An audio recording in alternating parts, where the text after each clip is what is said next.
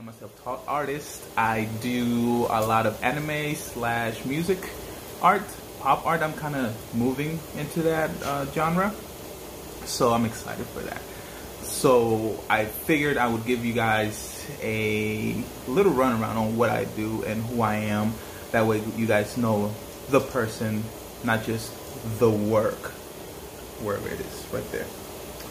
But so my name is Juan. I was uh, born in Mexico, raised in the United States, Fort Worth, Texas.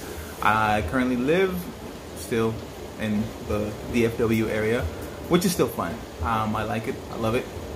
So now, that's just me growing up. I grew up um, listening to a lot of hip hop, a lot of uh, poetry, things like that.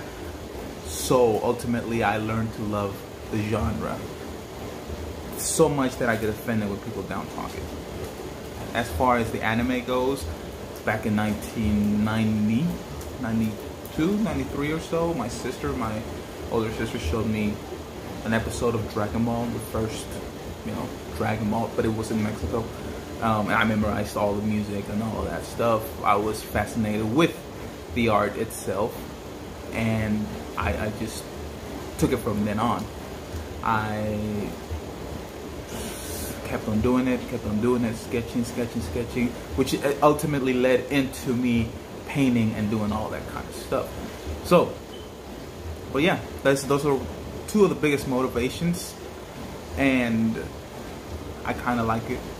Nah, I kind of love it, and it's just something that I'm really, really, really, really, really wanting to get into.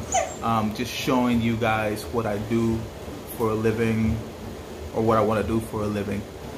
Um, and it's just expressing myself through a canvas, through whatever it could be.